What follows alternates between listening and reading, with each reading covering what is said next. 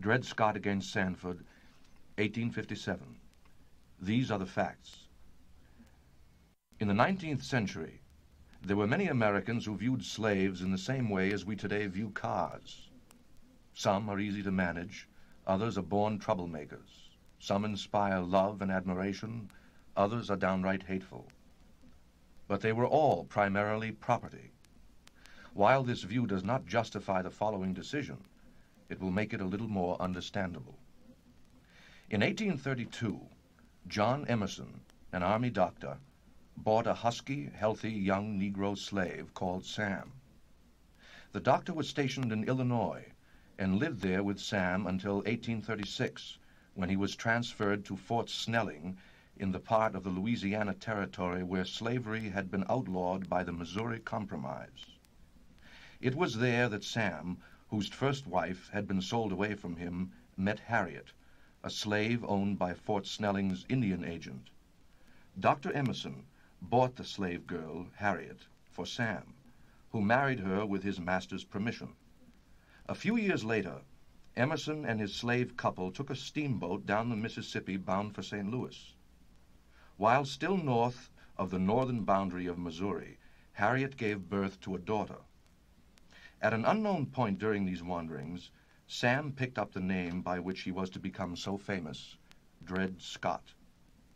Dr. Emerson died in St. Louis, and with the rest of his property the three slaves were willed to his widow. Dred Scott, however, contended that he was no longer legally a slave, and he sued for his and his family's freedom. The Missouri Supreme Court, however, ruled that although Scott might technically have been free while in Illinois, when he returned to Missouri, he returned to slavery, and he was therefore still the property of Mrs. Emerson. Dred Scott continued to fight for his freedom, and finally, in 1855, nine years after Scott had begun his struggle, the Supreme Court agreed to hear his case. The argument of the attorneys for Dred Scott. May it please the court. Dred Scott lived for more than two years with Dr. Emerson in Illinois, a state where slavery is prohibited. A master who takes his slave to reside in a state where slavery is forbidden emancipates the slave.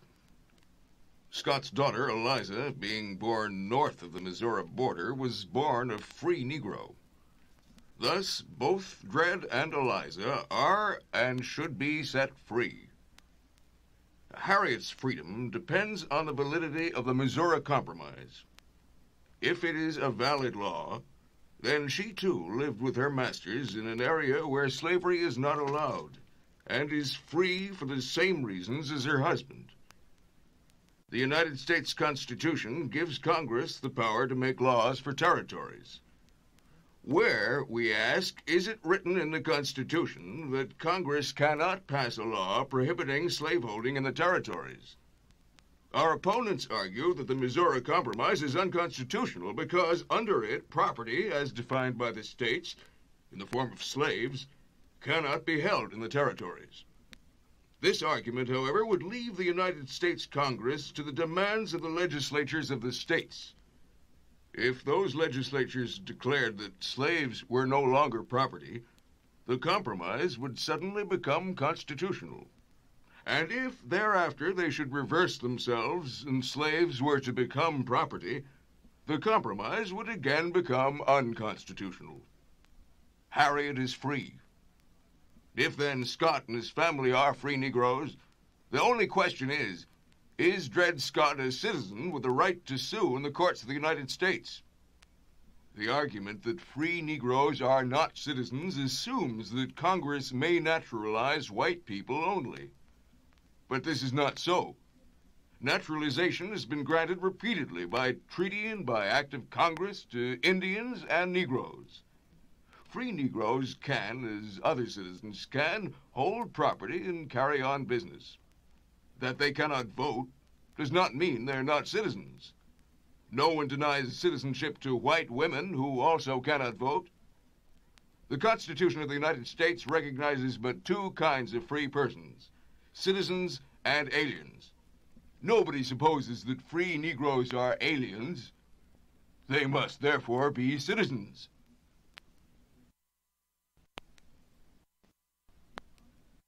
The argument of the attorneys for Sanford. May it please the court. All persons, your honors, born in the United States are not citizens. Examples are children of foreign ambassadors, Indians, and colored persons. Since Negroes cannot be citizens by birth, the only way they may become citizens is by becoming naturalized. But our Constitution gives the power of naturalization to Congress exclusively. A master may, if he wishes, free his slave. But mere discharge from bondage does not make the slave into a citizen. Only Congress can do that, and it has not yet done it. Under the present laws of our land, free blacks are not citizens and cannot bring lawsuits in our courts. Dred Scott, however, is not only not a citizen, he is not even free. Neither the Illinois Constitution nor the Missouri Compromise automatically emancipate a slave journeying with his master through a free state or territory. When slaves, as Dred Scott did, return with their master to a state allowing slavery, they give up any claim to freedom they might have had in the free territory. Both Dred and Harriet are still slaves, and the property of Sanford. Their daughter Eliza's claim to freedom is based on the validity of the Missouri Compromise. But the Constitution limits Congress's power to making needful rules and regulations respecting the territory or other property belonging to the United States. Forbidding slavery regulates not property belonging to the United States, but property belonging to individual slaveholders. The Constitution does not permit Congress to pass a law which practically keeps out of a new territory the people of certain states in the Union a law which keeps them from taking with them and holding their slaves a form of property recognized by the Constitution. Such a law is unconstitutional. Such a law is the Missouri Compromise. Opinion of the court by Chief Justice Taney. When a plaintiff sues in a court of the United States, it is necessary that he should show that he is entitled to sue there. It becomes, therefore, our duty to decide whether the plaintiff, Dred Scott, is or is not entitled to sue as a citizen of the United States. The words people of the United States and citizens mean the same thing. The question before us is whether the Negroes are part of this people. We think they are not, and that they were not intended to be included under the word citizen in the Constitution. It is not the province of the court to decide upon the justice or injustice, the policy or impolicy of these laws. The duty of the court is to interpret the Constitution according to its true intent and meaning when it was adopted.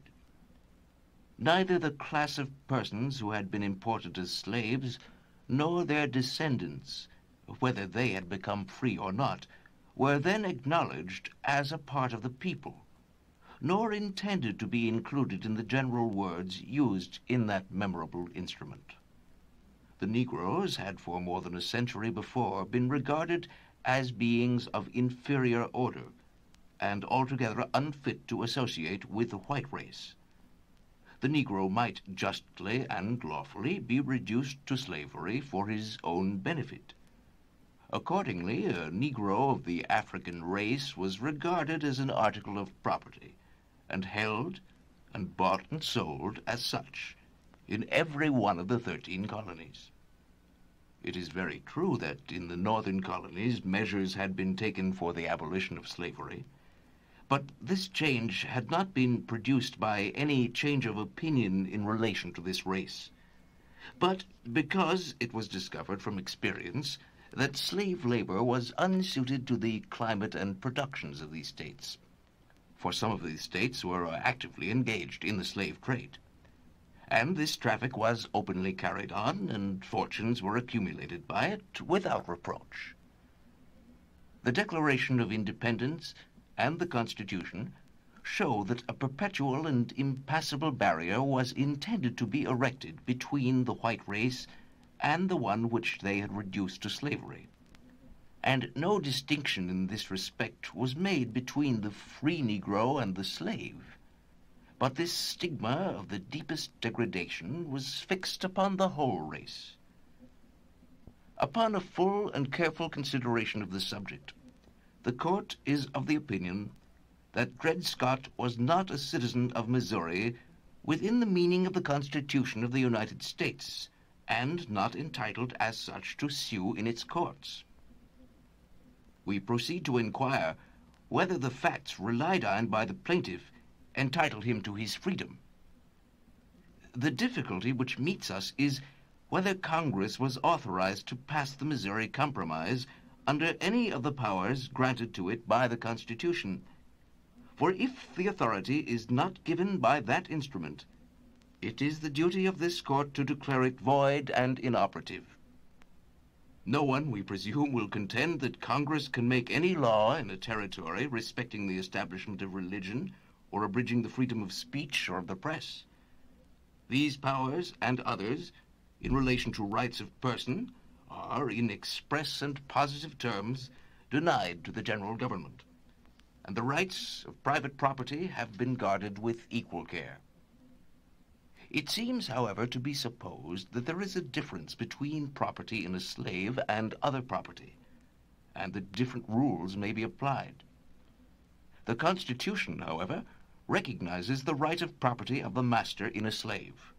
No word can be found in the Constitution which gives Congress a greater power over slave property, or which entitles property of that kind to less protection than property of any other description. The Missouri Compromise, which prohibited a citizen from holding property in a territory of the United States, is unconstitutional and void. And neither Dred Scott himself nor any of his family were made free by being carried into the upper Louisiana Territory.